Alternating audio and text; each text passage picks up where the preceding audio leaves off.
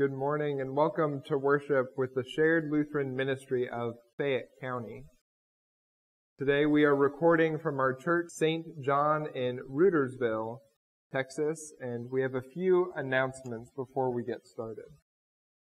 This evening, as well as next Sunday at 6 p.m., we have a book study on Zoom.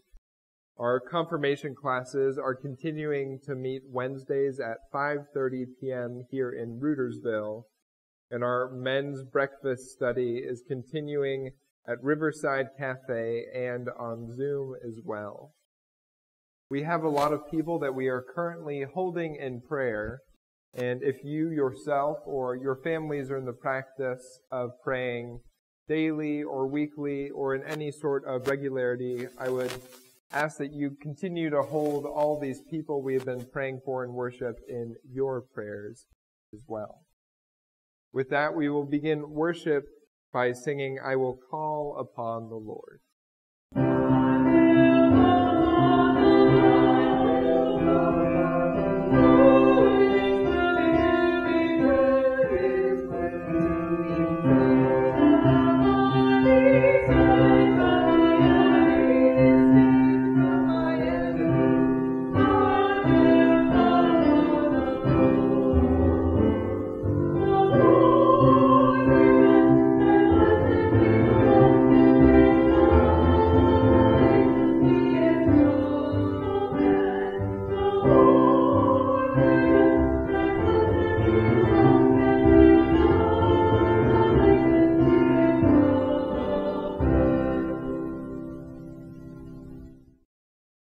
Grace of our Lord Jesus Christ, the love of God, and the communion of the Holy Spirit be with you all. And also with you. Let us read Psalm 62 responsively. For God alone I wait in silence. Truly my hope is in God. God alone is my rock and my salvation, my stronghold, so that I shall never be shaken. In God is my deliverance and my honor. God is my strong rock and my refuge. Put your trust in God always, O people. Pour out your hearts before the one who is our refuge. Those of high decree are but a fleeting breath. Those of low estate cannot be trusted. Placed on the scales together, they weigh even less than a breath. Put no trust in extortion in robbery, take no empty pride. Though wealth increase, set not your heart upon it. God has spoken once, twice have I heard it, that power belongs to God. Steadfast love belongs to you, O Lord, for you repay all according to their deeds. Let us pray. Almighty God, by grace alone you call us and accept us in your service. Strengthen us by your Spirit and make us worthy of your call through Jesus Christ, our Savior and Lord. Amen. The book of Jonah is a comedy starring a reluctant prophet who is given a one sentence message. Nineveh will be destroyed in 40 days. Much to Jonah's dismay, the people of Nineveh repent. The point of the story is to get the reader to wrestle with the question, on whom should God have mercy? Our first reading is from Jonah, the third chapter. The word of the Lord came to Jonah a second time, saying, Get up, go to Nineveh, that great city, and proclaim to it the message that I tell you. So Jonah set out and went to Nineveh, according to the word of the Lord. Now Nineveh was an exceedingly large city, a three days' walk across. Jonah began to go into the city, going a day's walk, and he cried out, Forty days more, and Nineveh shall be overthrown. And the people of Nineveh believed God. They proclaimed a fast, and everyone, great and small, put on sackcloth. When God saw what they did, how they turned from their evil ways, God changed his mind about the calamity that he said he would bring upon them, and he did not do it. Word of God, word of life. Thanks be to God.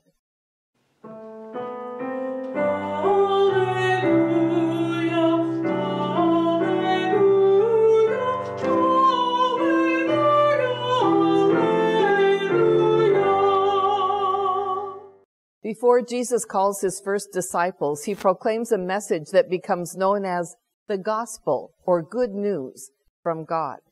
God is ready to rule our lives. Those who realize this will respond with repentance and faith. The Holy Gospel according to St. Mark, the first chapter. Glory to you, O Lord. Now after John was arrested, Jesus came to Galilee proclaiming the good news of God and saying, the time is fulfilled and the kingdom of God has come near. Repent and believe in the good news. As Jesus passed along the Sea of Galilee, he saw Simon and his brother Andrew casting a net into the sea, for they were fishermen. And Jesus said to them, Follow me, and I will make you fish for people. And immediately they left their nets and followed him. As he went a little farther, he saw James, son of Zebedee, and his brother John, who were in their boat mending the nets. Immediately he called them, and they left their father Zebedee in the boat with the hired men and followed him. The Gospel of the Lord. Praise to you, O Christ. Grace is yours and so is peace from God our Creator and our Lord Jesus Christ. Amen. Well, today we're going to talk about fishing. It should be pretty obvious. Jesus calls the fishermen to be his disciples and then he sends them out to fish for people. Likewise, Jesus calls us and sends us out to fish for people. Amen. It's, it's a pretty simple story, really, and one we've heard often. But this year, our first lesson is about Jonah. And to talk about fishing through the Jonah story, it takes on a whole new meaning. What does the story of Jonah tell us about fishing? Here's the story. God has called Jonah to share the good news with the people of Nineveh. Good news. Repent and God will spare you. Now, this wasn't the kind of message Jonah was used to giving. Jonah was an unconditional Israelite nationalist. His message was that the nation of Israel was so beloved by God that they could do no wrong. God was going to bless Israel with more land and greater prestige in spite of their disobedience to God. The great city of Nineveh and the mighty Assyrian Empire were putting a crimp in Jonah's message. The vast empire was flexing its muscles and with a simple swipe of their hand, they were obliterating Israel. How could this be if Israel were God's chosen? Why was Assyria getting the blessings that Israel deserved? Jonah and those who thought like he did were outraged. There is no way Jonah was going to give Nineveh any chance of receiving God's blessing or gaining God's favor. Jonah cared so little about the city and so little about saving the people that he jumped on a boat going in the opposite direction. He was not going to be part of this venture. It wasn't good news to him, and he wasn't going to share it. Our psalm from last week asked the question, Where can I go from your spirit? Where can I hide from you, O God? Well, Jonah learned the lesson the hard way. Where can you hide from God? Nowhere. God knows exactly where you are. And when God calls you to deliver good news, you are just going to enjoy life, life a whole lot more if you just do it. Because the ship Jonah boarded came into a storm and the lives of everyone on board was in danger. And so Jonah knew it was his fault. So he told the sailors, just throw me overboard, which they did. But again, you can't hide from God. And if God wants you to go to Nineveh, you will go to Nineveh. A huge fish swallowed Jonah and carried him to the shores of Nineveh, spit him about 30 miles inland just to kind of make sure he stayed put. Was Jonah chagrined or put in his place? Only mildly. He walked one day into a city that was three days journey across. He said God's message, repent or I will destroy you. And he turned on his heel and he left. Job done.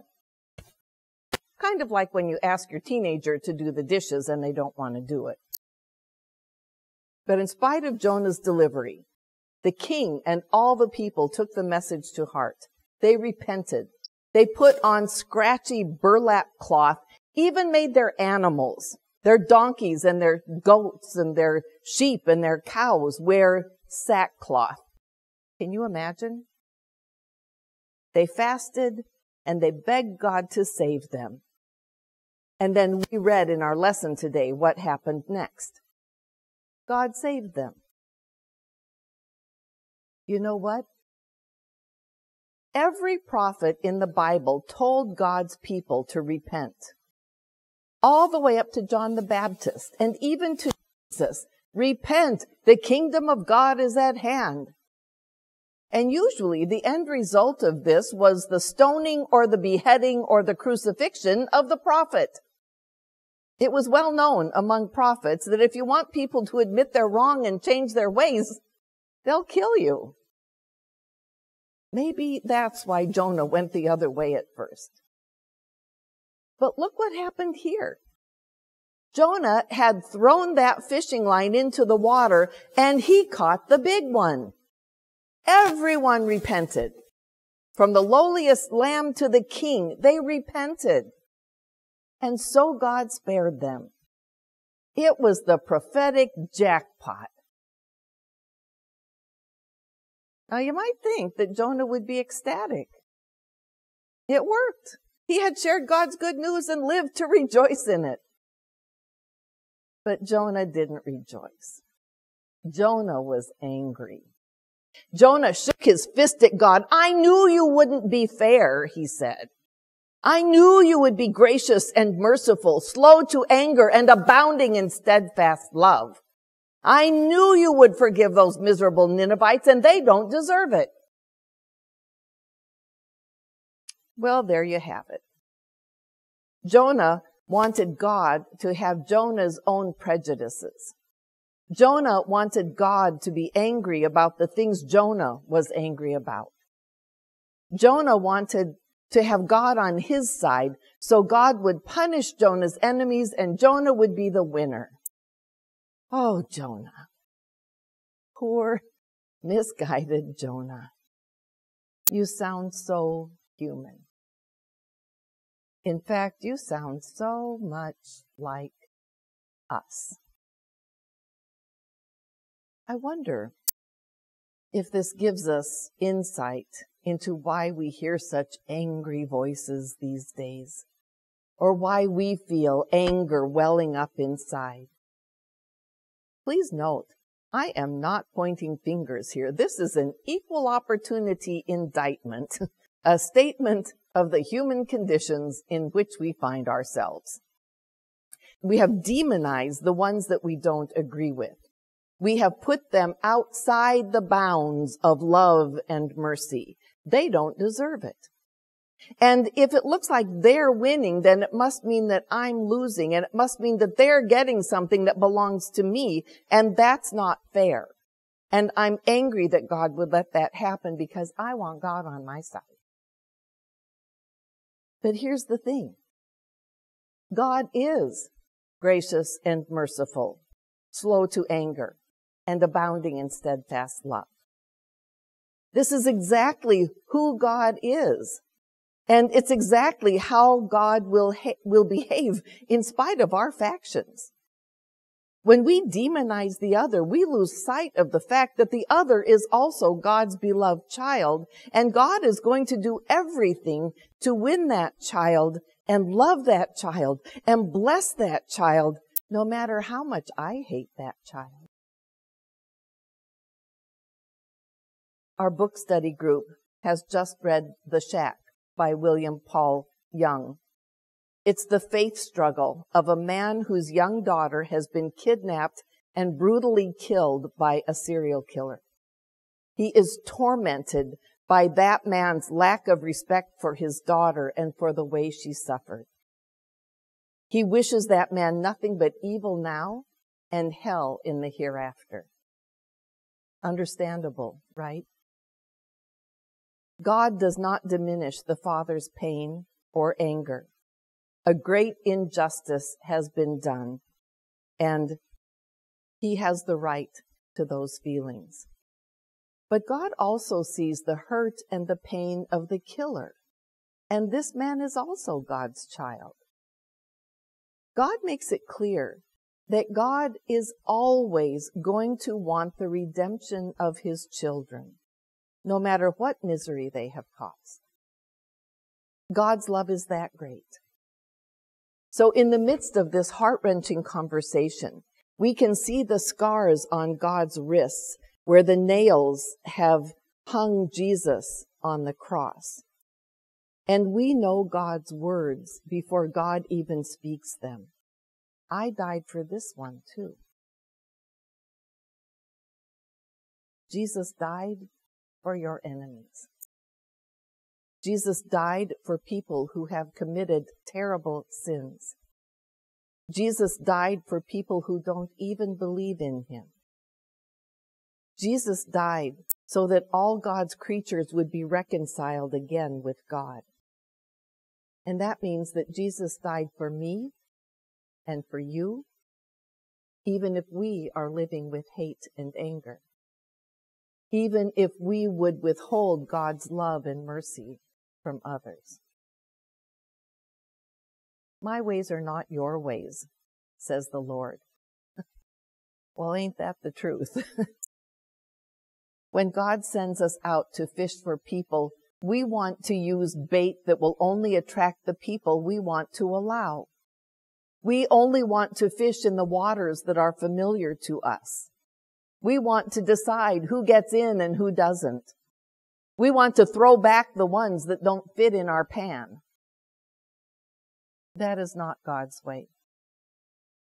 What's the fishing lesson we learn from Jonah? We learn God gives us the good news in the shape of a fishing pole and sends us out to catch the big fish. The ones we don't agree with, the ones that give us a fight, the ones that are too big for the pan, so we have to stretch and grow, even the ones who we are angry with, or the ones that we dare to hate. Here in church, we have a different message than what you hear in other places. It's a message counter to hate and anger and exclusion. Here we bow to the God who accepts and loves us all, who is gracious and merciful, slow to anger, and abounding in steadfast love. Amen.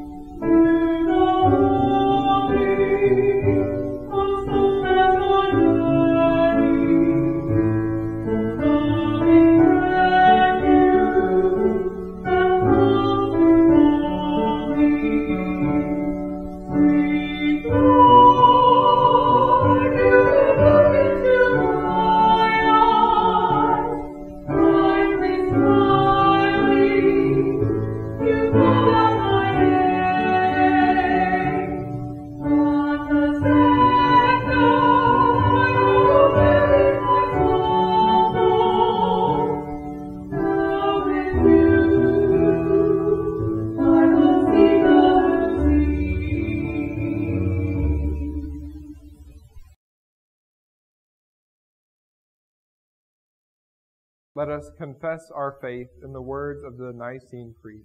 We believe in one God, the Father, the Almighty, maker of heaven and earth, of all that is seen and unseen. We believe in one Lord, Jesus Christ, the only Son of God, eternally begotten of the Father, God from God, light from light, true God from true God, begotten, not made, of one being with the Father. Through him all things were made. For us and for our salvation, he came down from heaven. By the power of the Holy Spirit, he became incarnate from the Virgin Mary and was made man. For our sake, he was crucified under Pontius Pilate. He suffered death and was buried. On the third day, he rose again in accordance with the scriptures. He ascended into heaven and is seated at the right hand of the Father. He will come again in glory to judge the living and the dead, and his kingdom will have no end. We believe in the Holy Spirit, the Lord, the giver of life, who proceeds from the Father and the Son. With the Father and the Son, he is worshipped and glorified. He has spoken through the prophets. We believe in one holy Catholic and Apostolic Church. We acknowledge one baptism for the forgiveness of sins. We look for the resurrection of the dead and the life of the world to come. Amen. Now, as we enter a time of offering, I would like to thank you for your continued financial support of our shared ministry as well as our four churches as well. Thank you also for all of the ways in which you fish out to other people in acts of love and service and prayer. For all of those manifold ways in which you give of not only your time and material resources, but of your emotional, relational, and spiritual resources as well. Let us pray. O God, receive these gifts as you receive us. Like a mother receives her child, with arms open wide, nourish us anew in your tender care, and empower us in faithful service to tend to others with this same love. Through Jesus Christ, our saving grace. Amen guided by Christ, made known to the nations, let us offer our prayers for the church, the world, and all those in need. For the church throughout the world, for pastors and teachers, for deacons and deaconesses, and for musicians and servers, that all proclaim the good news of God's reconciling love, let us pray. Have mercy, O God. For skies and seas, for birds and fish, for favorable weather and clean water, and for the well-being of creation, that God raise up advocates and scientists to guide our care for all the earth, let us pray. Have mercy, O God. For those who provide leadership in our cities and around the world, for nonprofit and non-governmental organizations, for planning commissions and homeless advocates, that God inspire all people in the just use of wealth. Let us pray. Have mercy, O God. For those who are sick, distressed, or grieving, for the outcast and all who await relief, especially Loretta, Debbie, Mel, Donna, Jennifer, Ed, Kim, Angie, Gerald, Billy, Nikki, Thomas, Dewey, Mark, Marshall, Willie, Lillian, Norman, Linda, Janelda, Martha, Ted, Art, Shelby, Ivy, Edgar, Johnny, Donna, and the friends and family of Sarah, Durwood, Sharon, Melissa, Jean, Mark, Ray, and Morris, that in the midst of suffering, God's peace and mercy surround them. Let us pray. Have mercy, O God. For our congregation and community, for families big and small, and for the organizations that meet here during the week. That God's steadfast love serve as a model for all relationships. Let us pray.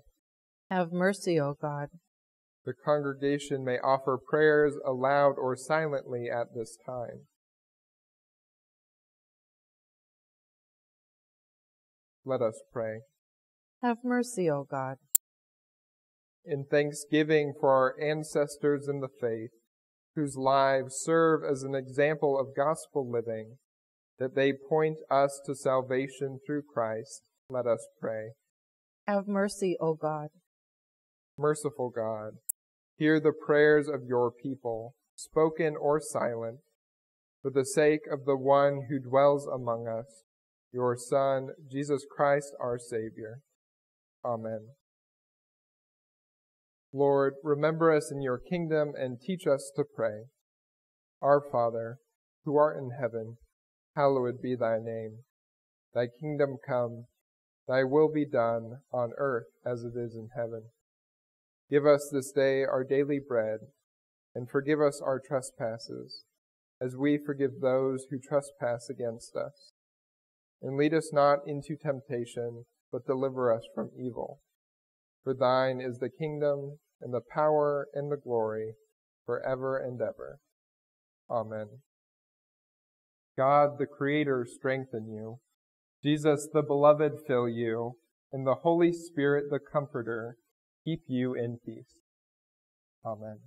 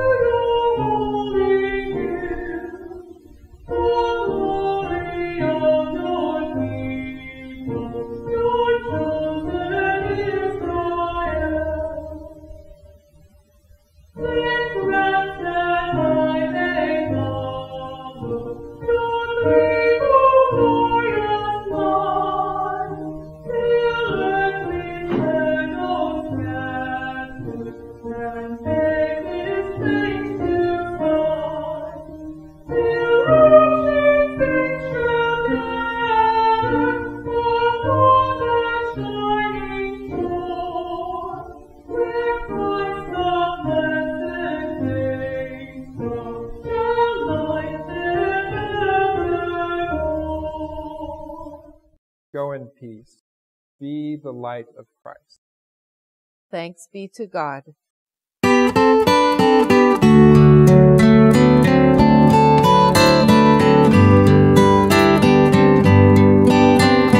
Tú has venido a la orilla, no has buscado ni a sabios ni a ricos,